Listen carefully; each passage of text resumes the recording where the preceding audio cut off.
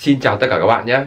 Trong video hôm nay của mình à, Những bạn nào đang dùng Zalo Các bạn thường xuyên các bạn gặp phải tình trạng Đó là không nhận được thông báo Tin nhắn đến hoặc là một cuộc gọi Ở Zalo và một số thông báo khác. Thì hôm nay mình sẽ hướng dẫn cho các bạn Cách để cải thiện khắc phục cái tình trạng đó nhé. Bạn nào mà đang gặp phải trường hợp như mình nói Các bạn cùng theo dõi trong video này nhé. Rồi Thì đầu tiên à, những bạn nào mà đang dùng các bạn hãy vào cho mình các cái cửa hàng ở trên kho ứng dụng.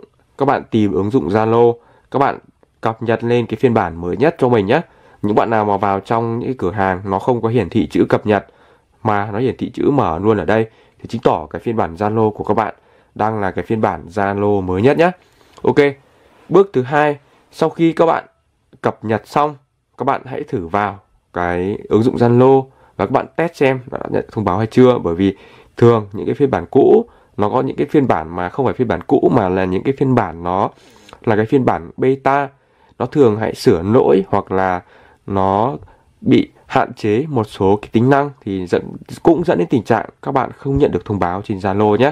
Bước thứ hai, à, các bạn có thể dùng cái cách truyền thống bằng cách các bạn có thể chọn khởi động lại thiết bị này. Đấy, các bạn chọn khởi động lại thiết bị nhé.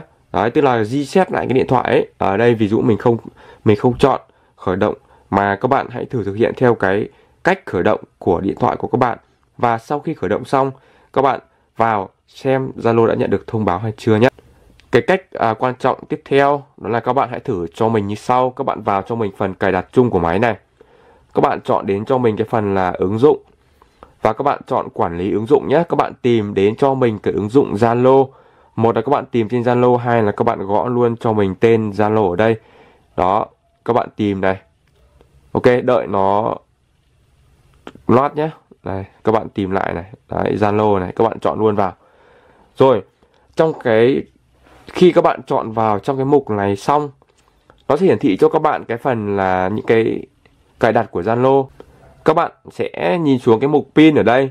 Các bạn xem là có đang bật cái chế độ là tiết kiệm pin hay không nhé. Ví dụ như cái của mình đây là đang cái bật bật cái phần là tiết kiệm pin. Đó, các bạn chọn vào.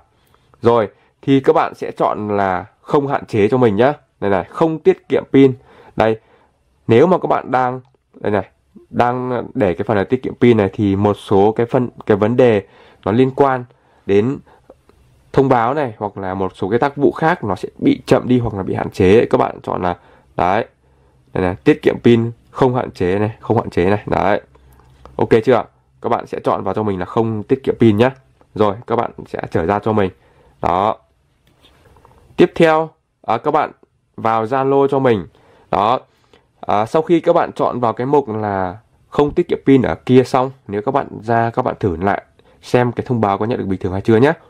Và tiếp theo này à, cái phần à, các bạn vào cho mình Zalo nhé. Một cách à, khắc phục tiếp theo đó là các bạn hãy vào cho mình các bạn phải chọn phần cá nhân cho mình nhé. Cá nhân ở phía dưới này. Sau đó thì các bạn sẽ chọn cho mình là dung lượng và dữ liệu. Đó. Rồi những bạn nào mà đang nhìn trong cái phần là dọn dẹp bộ nhớ đệm này này đấy có cái phần bộ nhớ đệm ở đây này thấy nó cái dung lượng nó rất là nhiều nhé.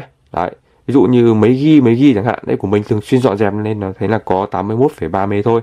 Thì các bạn sẽ chọn cho mình là dọn dẹp bộ nhớ đệm. Đấy các bạn lưu ý nhé bộ nhớ đệm của các bạn nó nhiều ấy nó cũng gợi dẫn đến tình trạng là cái Zalo của các bạn nó bị chậm nó đầy bộ nhớ dẫn đến cái thông báo của các bạn nó sẽ không đến được bởi vì nó đầy rồi. Các bạn cảm nhận là ví dụ nó đầy quá nó nó nó bị tắc rồi nó bị à, đầy quá nó không thể à, đến được nữa thì nó sẽ không nhận thông báo. Các bạn không nhận được thông báo là chuyện bình thường.